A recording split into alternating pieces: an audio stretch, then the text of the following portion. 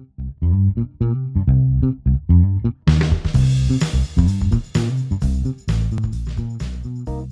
Pour choisir le bon matériel, je recommande la lecture du livre. Euh, ceci étant, pour, euh, pour ne pas non plus jeter la pierre du tout, euh, et notamment aux séries qu'on peut vendre ou demi-séries qu'on peut vendre dans les magasins comme un package, ces séries-là, de toute façon, sont plus performantes que les séries réglées professionnellement que l'on jouait il y a, il y a une trentaine d'années.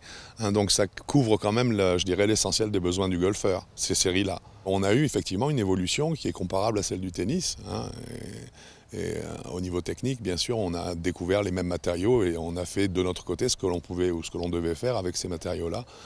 Euh, alors qu'au tennis, ils en ont fait peut-être autre chose. à l'époque de Borg, on en était, je ne sais, pas si je l'ai fini en jouant des raquettes en bois, mais en tout cas, il a dû commencer à jouer des raquettes en bois et nous, on est exactement dans le même phénomène. J'ai joué des tournois pro avec des clubs en bois, des têtes en persimon, hein, qui est un, bois, un bois euh, spécifique pour ce type d'usage.